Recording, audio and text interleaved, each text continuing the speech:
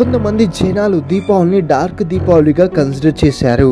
నేను ఎందుకో చెప్తాను. Karnataka India in seventeen ninety a tragic event అనేది టౌన్ ఆఫ్ మేలకోటిలో జరిగింది. ఆర్మీ ఆఫ్ టిపు సుల్తాన్ ఆ టౌన్లోకి ఎంటర్ అయ్యి hundreds of people from Mandyam Iyengar community నుండి చంపేశాడు. అది ఒక Hindu Brahmin group. On the eve of Deepavali the Mandyam Iyengars వారు అందరూ గ్యాదర్ అయ్యి ఆ టౌన్లో ఉన్న టెంపుల్లోకి వెళ్ళారు దేవుణ్ణి పూజించడం కోసం ఇంకా అలాగే ఫెస్టివ్స్ని జరుపుకోవడం కోసం. అంతలోనే టిప్పుస్ ఆర్మీ అనేది వచ్చింది. సోల్జర్స్ రాగానే టెంపుల్ని చుట్టుముట్టి చంపడం స్టార్ట్ చేశారు. అందులో ఎనిమిది వందల మంది మద్యం అయ్యంగర్స్ని కిల్ చేశారు. ఆ స్ట్రీట్ మెలకోటి అనేది చాలా రెడ్గా మారిపోయింది. రక్తంతో నిండిపోయింది.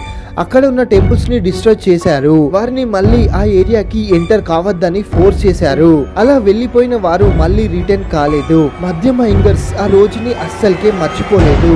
వారు ఆ డేని ఒక మాస్కర్ డే గా అబ్జర్వ్ చేస్తూ ఉన్నారు. దీపావళి అంటించే బదులు వారి ఇంట్లోకి వెళ్ళి చచ్చిపోయిన వారి కోసం చేస్తూ ఉన్నారు.